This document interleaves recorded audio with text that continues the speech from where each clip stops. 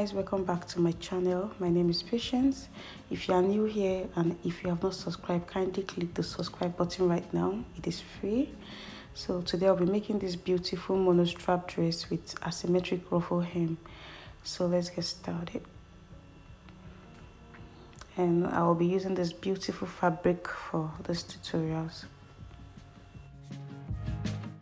So this is my shoulder line I'll be using this pattern paper to draft the front piece.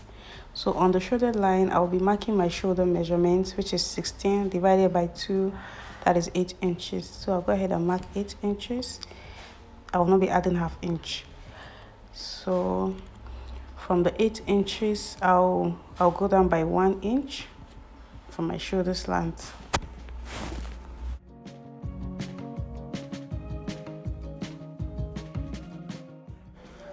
So I'll be marking my armhole measurement, which is 8 inches. I'll go ahead and mark 8 inches, then connect the points.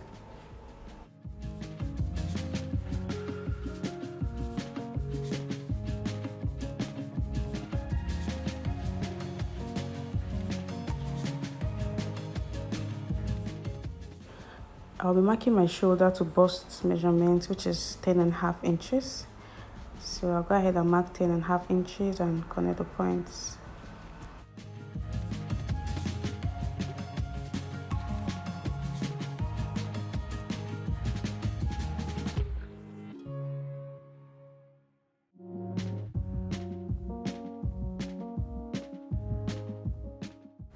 I'll be using 16 and half inches for my shoulder to waist measurement. Then I'll be adding half inch, at the 17 inches that I will use to join the lower part of the dress. So I'll go ahead and mark 17 inches and connect the points.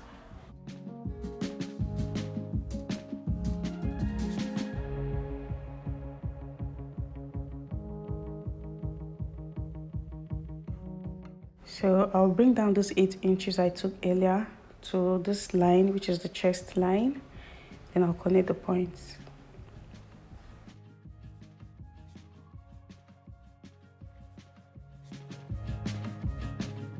So I'll mark the midpoint of this line, which is 4 inches. Then from the 4 inches, I'll go in by 3 quarter inch. Then I'll use my pattern master to make a slant line from the 3 quarter inch to the tip of the shoulder line. Then I'll use my armhole curve to make a curve from the 3 quarter inch. This is for my front armhole. So the next measurement is my bust span measurement which is the distance from one nipple to another. Mine is 8 inches divided by 2 is 4 plus half, that's 4 and half inches. So I'll go ahead and mark 4 and half inches on the bust line and on the waist line. So on the bust line, I'll come down by 1 inch, then I'll connect the points. So I'll be using 1 inch for my dart. So I'll go ahead and mark half inch on both sides then I'll create my dart.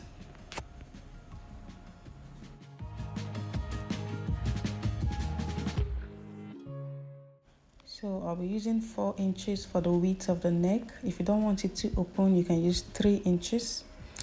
Then I'll be adding half inch on the shoulder for sewing allowance.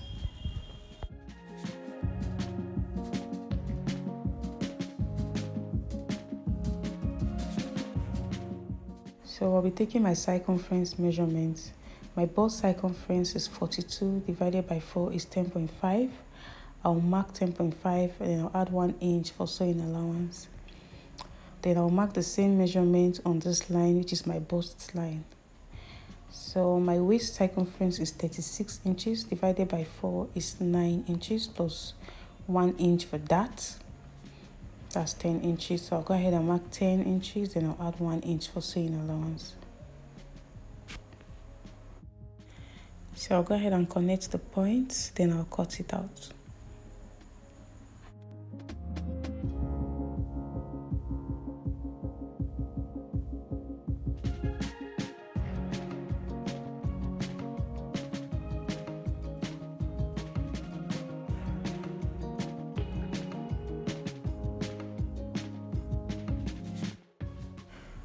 I'll go ahead and label this as the chest line the bust line and the waist line and sewing allowance. So this is my front piece. I'll be drafting the back piece on this pattern. Uh, the first measurement I'll take is I'll take my zip allowance. I'll take one inch for my zipper allowance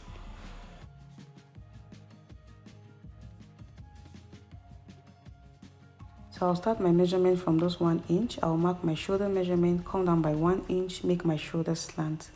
Then I'll take my armhole measurement. On this back piece, I will not be taking the shoulder to bust measurement. I'll be marking my shoulder to back half length, which is 15 inches. So I'll go ahead and mark 15 inches. Then I'll connect the points. And then I'll be taking my shoulder to waist which is 17 inches.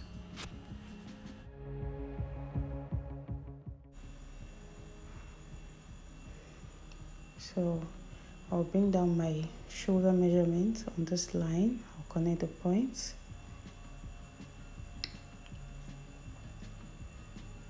Then I'll mark the midpoint which is 4 inches. On the back piece I'll come in by half inch make a slant then I'll curve my armhole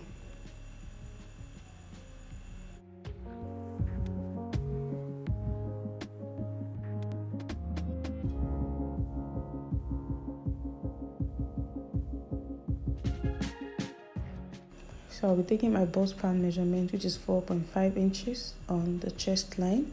I'll come down by 2 inches I'll also take the bust span measurement on my waistline then I'll create my dart.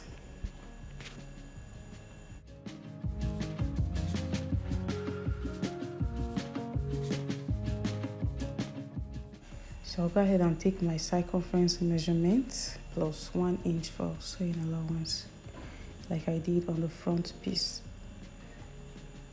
So I'll go ahead and connect it together. So on this line which is the back half length i'll be taking my zip tightening. So this depends on how deep your back is. You can use one inch you can use half inch you can use three quarter inch. So i'll be using three quarter inch. Then i'll be making a slant this way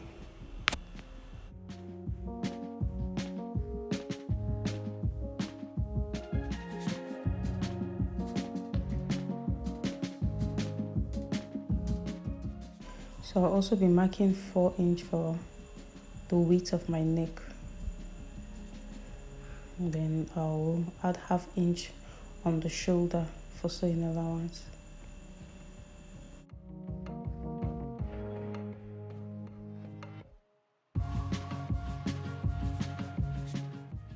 So I'll go ahead and cut this out. But for now, I will not be cutting out the zip tightening.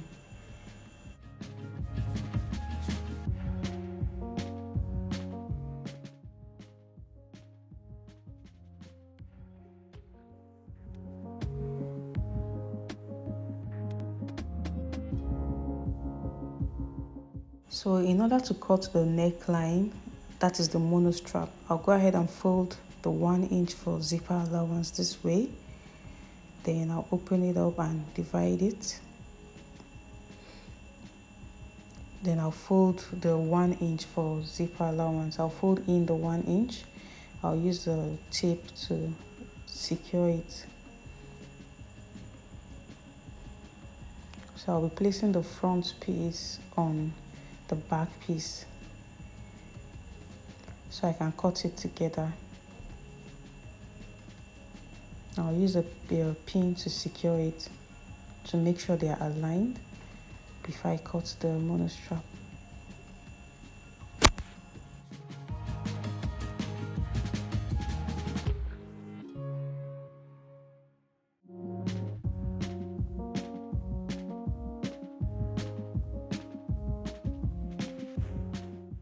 so I'll be making a curve from the armhole to the four inches I took earlier for the width of the neck. So depends on how open you want it. You can use three inches or four inches. That is if you don't want it really open. But I'll be using five inch for the depth of the neck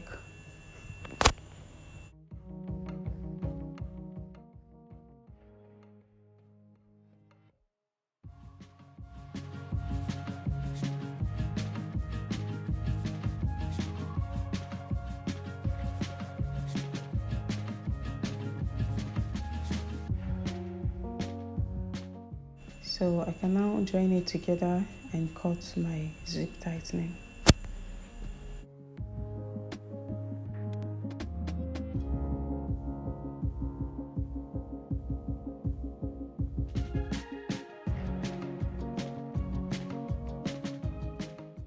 So this is the back piece. And remember I'll still be taking the one inch for zipper allowance so this is the back piece and this is the front piece. So my patterns are ready. I also have this skirt pattern that I will use. I have a video on how I made this basic skirt. I'll put the link on the description box below. So I'll go ahead and cut this out on my fabric. So the length I'll be using is 20 inches. And this is 22 inches so I'll be using half inch to join the ruffles. Then I'll be using one and a half inch to hem it. So that is 22 inches. So I'll go ahead and trace this out on my fabric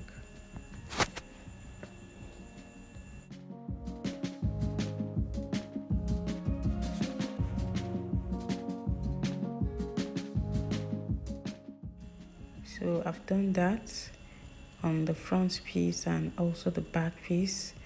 I've marked my darts and also the zipper allowance. So I'll go ahead and divide this back piece into two.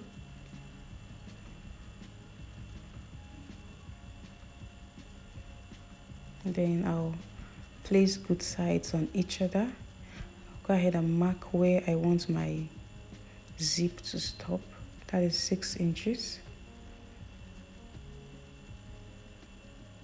So mark six inches then I'll be sewing from the six inches downwards. So I'll go ahead and pin it first. Then I'll sew it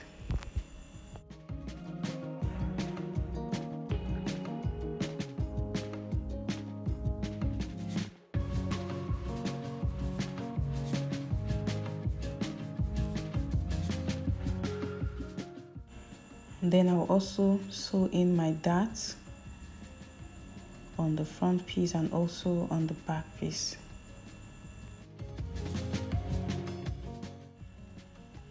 So this is the front piece and the back piece. So I also cut out a facing for the front and the back piece. So I'll go ahead and pin it down because I'll be sewing it very close.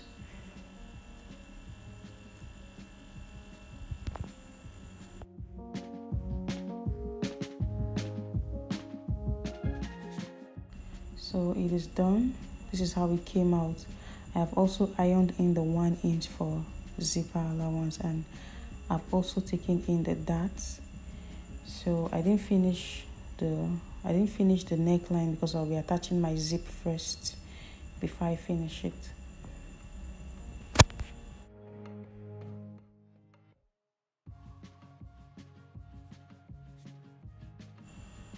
So this is the front piece. I've also attached the facing. This is it sewn and pressed. I also took in the darts so I've also taken in the darts here and I've sewn the zipper allowance on both the back piece and the front piece.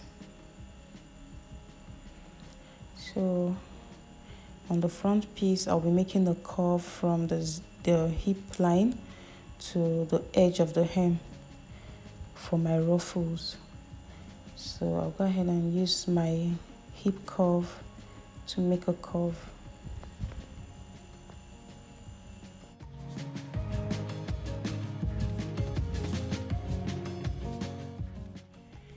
So I'll be cutting both the front and the back together. So I'll go ahead and place the front piece on the back piece. I'll make sure they are aligned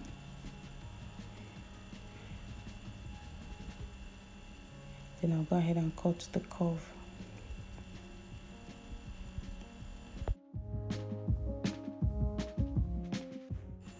So I'll be attaching this to the main skirt after I attach the ruffles.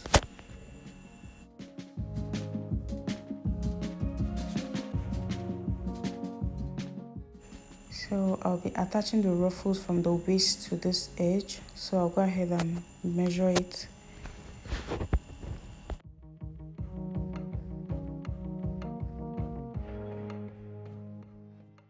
So what I have here is 36 inches. So you can times that by two or two and a half or even three. Depends on how full you want the ruffle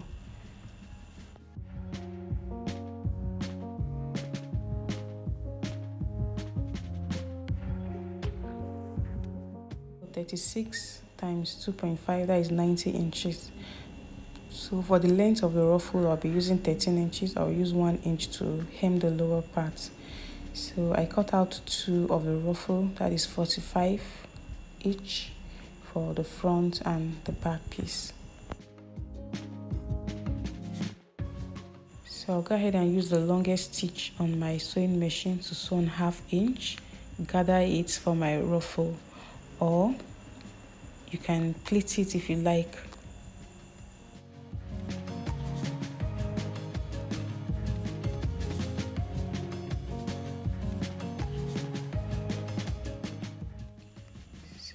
done that both on the front and the back piece and this is how it came out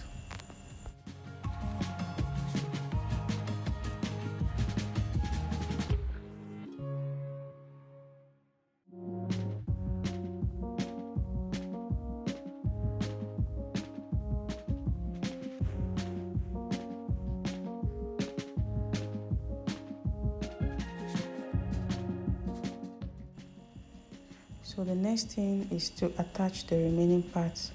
So I'll go ahead and attach the front piece first. So I'll make sure it is aligned this way. I'll go ahead and pin it down then I'll sew it by a half inch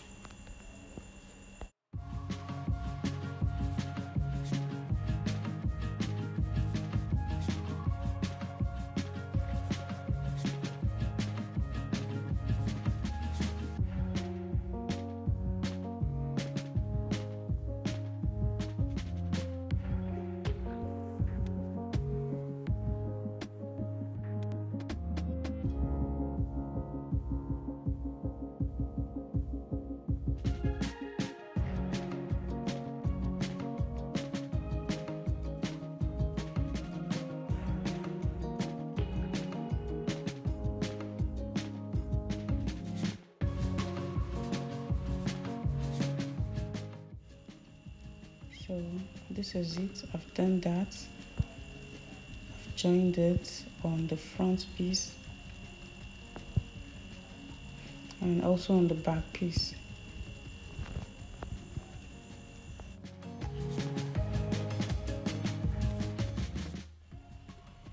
So this is it.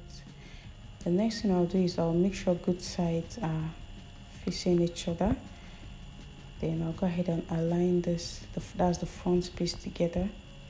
I'll be joining the upper and the lower part together. So I'll make sure the darts are aligned. I'll go ahead and pin it down then also half inch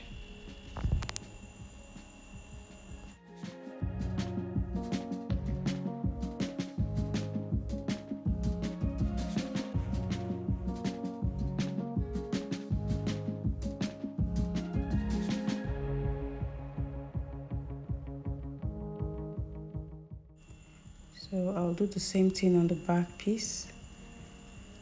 I'll make sure the darts are aligned then I'll go ahead and pin it down and sew by half inch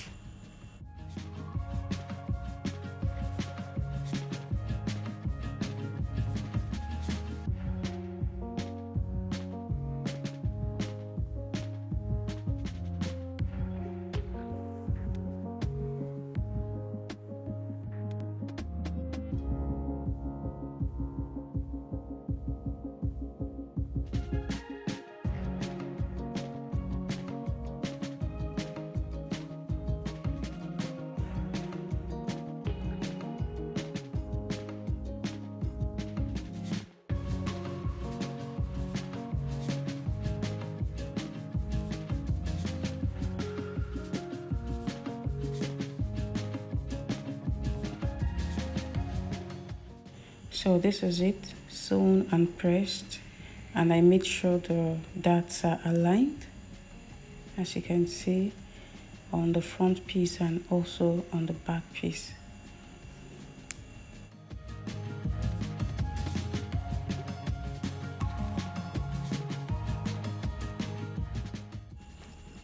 So I'll be fixing my zip.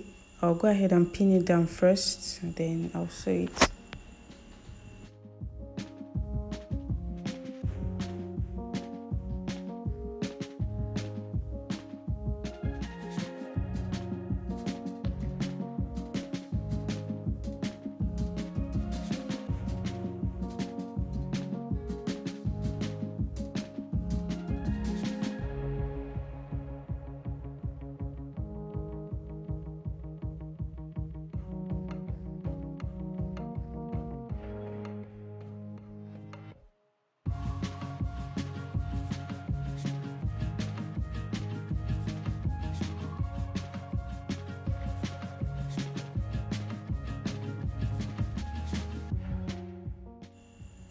so I've done that and I make sure the waists are aligned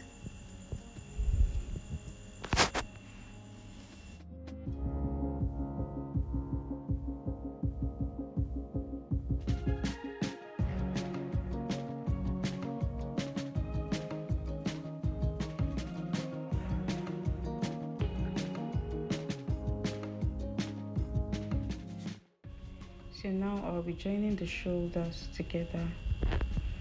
So I'll go ahead and place it this way.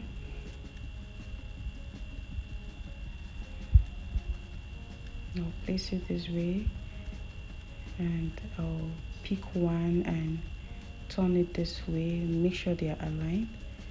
I'll go ahead and pin it down first and sew the half inch I left for sewing allowance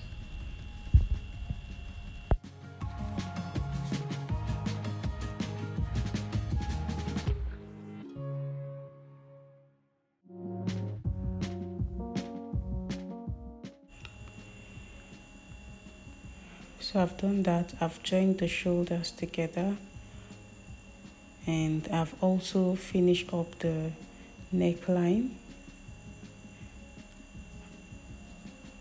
So I'll go ahead and cut the excess zip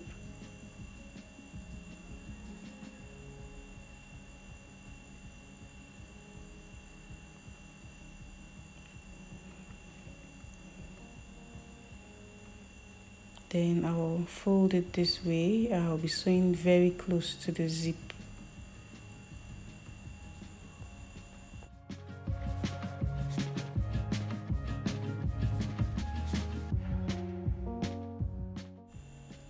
So I've done that. And I also use a hemming tape to join the facing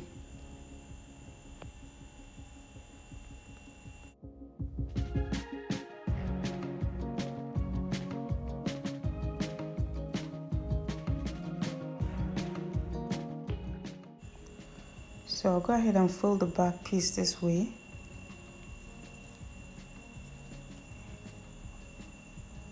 Then I'll also fold the front piece because I'll be joining the back and the front piece together. So I'll go ahead and align, I'll align it together. I'll align this part and I'll pin it down because I'll be sewing it by one inch I left for sewing allowance so make sure the waists are aligned.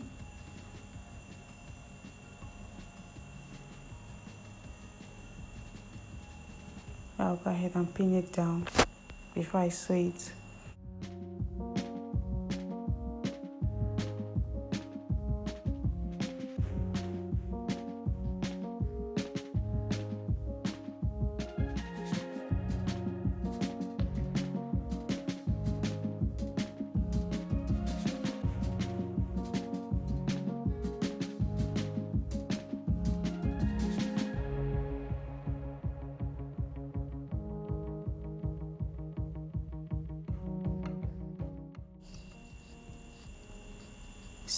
this is it. I've joined it together. This is how it came out.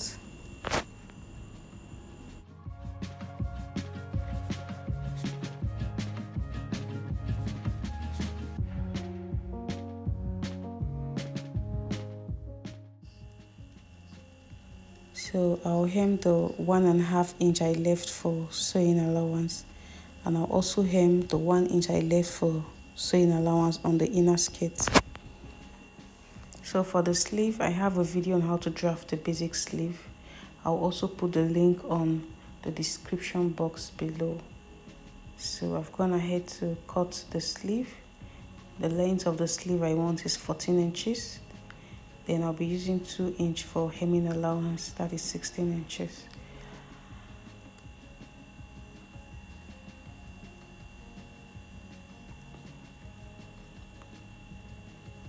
so I will make sure good sides are facing each other. Then I'll sew the one and a half inch I left for sewing allowance. Then I'll attach my sleeve.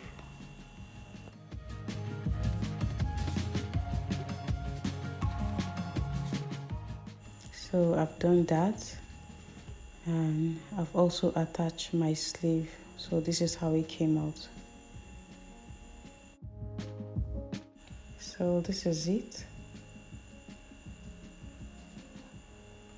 and I've also gone ahead to hem the lower part.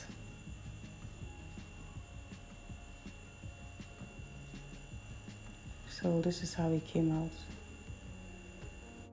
So I'm going to try this on to show you guys how it came out. So this is the end of this tutorial. I hope this was helpful. If so kindly give it a thumbs up and don't forget to subscribe and don't forget to turn on the notification bell to be notified each time I upload a new video. Thank you guys for watching. Bye